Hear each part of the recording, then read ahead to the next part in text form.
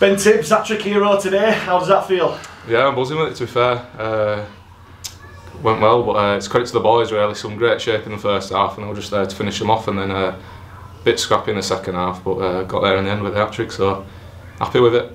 Um, got really tasty in, uh, points in that, in that game Yeah. today. Um, how did you feel that we react, reacted to such tactics from Sheffield? Yeah, so it's nowadays, you know, you can't jump in and throw punches, or it's just banned straight away. So I think the boys did quite well uh, to not get in. And Basile handled it well. Obviously, not just going to let it happen, but um, no, most lads handled it well. So hopefully we'll come out of it. No, not too many bans.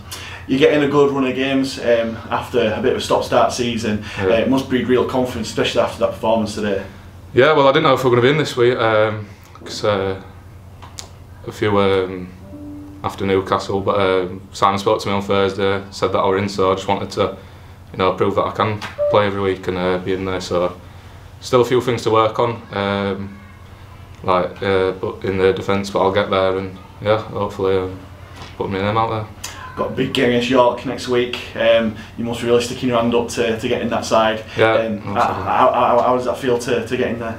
Yeah, definitely. It's, the York are going well. They're um, at the top where, towards the top where we want to be. So it'll be a good game, and uh, yeah, I'm looking forward to it.